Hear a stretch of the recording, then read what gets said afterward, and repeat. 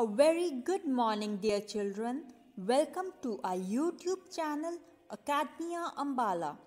Hope you all are doing good and keeping safe. So, dear children, in lesson 17 of EVS, Air and Water, we learned that gently moving air is called breeze, fast moving air is called wind, and very fast moving air is called storm. Air helps to fly aeroplanes, kites, to sail a boat, to blow up balloons, etc. Air helps in burning as well.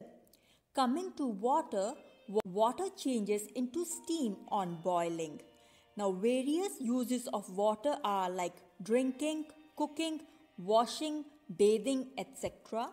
And its sources are rain, rivers, hand pumps, wells, tap, etc.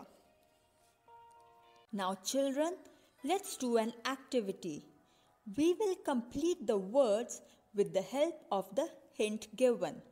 The hint is a sentence as well as a picture. So, you can see that the first is fast moving air is called. Yes, well, children, we have learned about gently moving air, very fast moving air, and fast moving air. So, looking at the picture, we know that fast moving air is called wind. Next is source of water. We did different sources of water like seas, oceans, lakes, rivers, ponds, etc. And when we look at the picture, we can guess the right answer. So, what is it? Yes, River is a source of water. Third is we use water for. We did different uses of water like bathing, washing, cooking, etc. And the picture clearly tells us that we use water for cooking.